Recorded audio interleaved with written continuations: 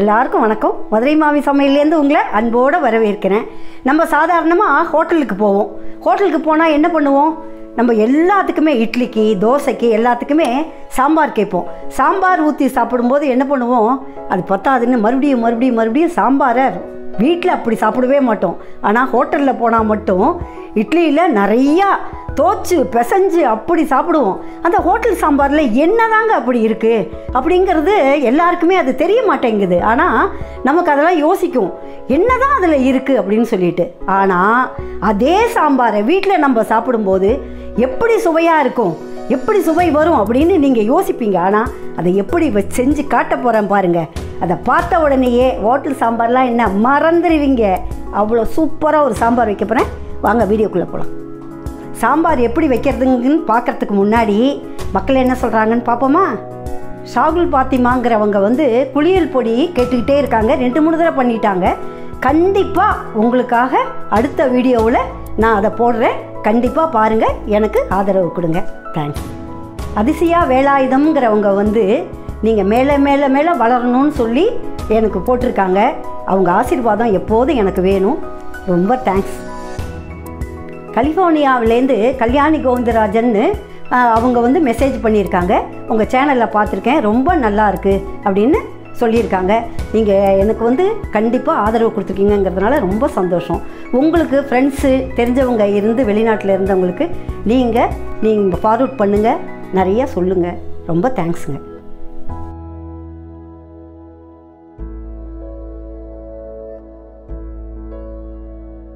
Hotel style idli சாம்பாருக்கு தேவையான பொருள். ஒரு அஞ்சு தக்காளி எடுத்திருக்கேன். அஞ்சு தக்காளி நறுக்கி வச்சுருக்கேன். இது கொஞ்சமாக இதை பாருங்க கொஞ்சமாக புளி. ஏன்னா த தக்காளி நிறையா வச்சுருக்கேன். அதுக்காக புளியை கொஞ்சமாக வச்சுருக்கேன். இதுதான் புளி. இது ஒரு அஞ்சு பேர் சாப்பிட்லான்னு வச்சுக்கோங்களேன் அது. ரெண்டு ஸ்பூன் வந்து சாம்பார் பொடி வச்சுருக்கேன். ஒரு ஐம்பது துவரம்பருப்பு வச்சுருக்கேன். ஏன்னா இதெல்லாம் அரைச்சி ஊற்றும் போது கெட்டியாக போயிடும் சாம்பார். அதனால் ஐம்பது சா துவரம்பருப்பு போதும் சாம்பாருக்கு. இது பெரிய பல்லாரி ஒன்றே ஒன்று வச்சுருக்கேன். சின்னதாக இருந்தால் ரெண்டு வச்சுக்கோங்க. இது பெருசாக வச்சுருக்கிறதுனால ஒரு பல்லாரி.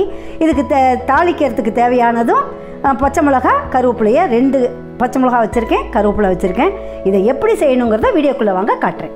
இதை பாருங்கள் சாம்பாருக்கு தேவையான தக்காளி வெங்காயம் நறுக்கி வச்சுருக்கோம். இப்போ ரெண்டு ஸ்பூன் எண்ணெயை ஊற்றி இப்போது இந்த வெங்காயத்தையும் அந்த தக்காளியையும் போட்டு கொஞ்ச நேரம் ஒரு ஒரு அஞ்சு நிமிஷம் இதை வதக்கிட்டு அதுக்கப்புறம் எப்படிங்கிறத மறுபடியும் காட்டுறேன். இப்போ ஏன் இதை வதக்கிட்டு நம்ம அரைக்கிறோம் அப்படின்னு சொன்னால் இதை சாதாரணமாக அரைச்சிங்கன்னா சலசலன்னு தண்ணியும் சக்கையுமாக வரும். ஆனால் ஒரு நிமிஷம் இதை வதக்கிட்டு அரைச்சி பாருங்கள் குழகுழப்பாக இருக்கும். நமக்கு டேஸ்ட்டும் கொடுக்கும். இந்த வாசனை கொஞ்சம் போய் குழகுழப்பை கொடுக்கும். அதுக்காக தான் இந்த ஒரு ரெண்டு நிமிஷம் வதக்கிட்டேன். இதை அணைச்சிட்டேன். திருப்பியும் அரைச்சிட்டு எப்படிங்கிறத மறுபடியும் காட்டுறேன். இதை பாருங்கள் வானல் போட்டுட்டேன்.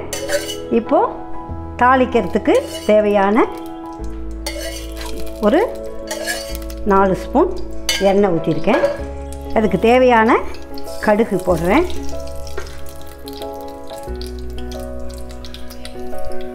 ஒரு ஒரு ஸ்பூன் அளவு ஜீரகம் போடுறேன்.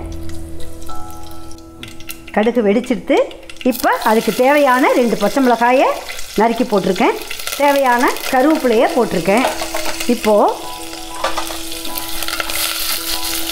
இப்போ பாருங்கள் எப்போதுமே என்னடா சாம்பாருக்கு பெரிய வெங்காயம் நறுக்கி வச்சுருக்காளேன்னு நினைக்காதீங்க. சின்ன வெங்காயம் கொஞ்சமாக போதும். சாம்பார் இப்போ இட்லி சாம்பார்னாலே உங்களுக்கு பெரிய வெங்காயம் தான் சூப்பராக இருக்கும்.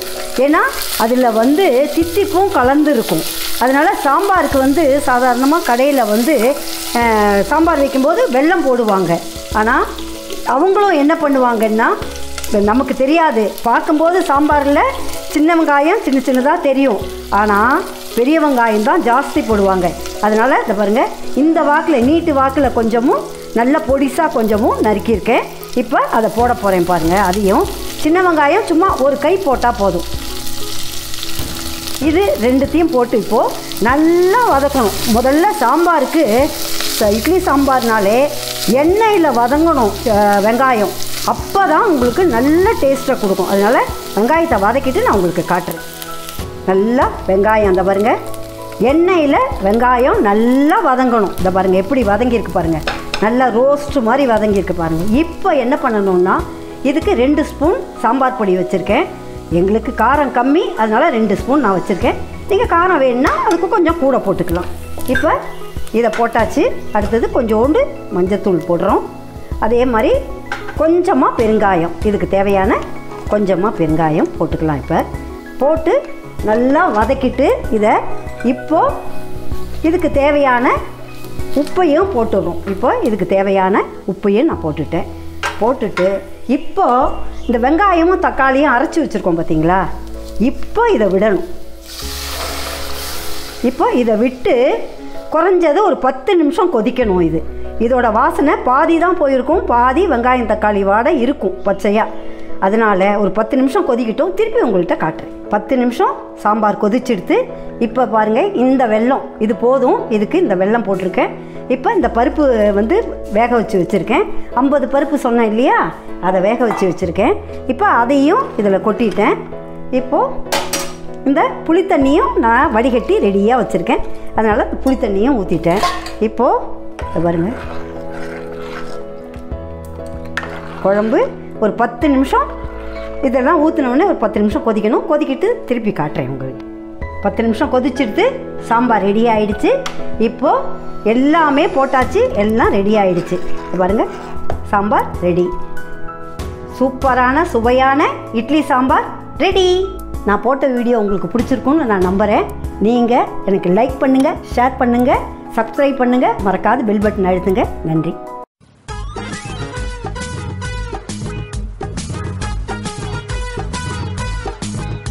சாதாரணமாக ஹோட்டலுக்கு போனால் அது அல்ல இட்லி சாம்பார்னு சொல்லிட்டு தான் சொல்லணுமா?